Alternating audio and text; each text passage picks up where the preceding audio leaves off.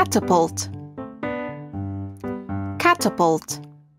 To catapult means to move suddenly with great force. For example, after studying consistently for months, I catapulted from 10th place to first place in class. As the bike crashed into the garage, the wheel catapulted into the air and rolled onto the street.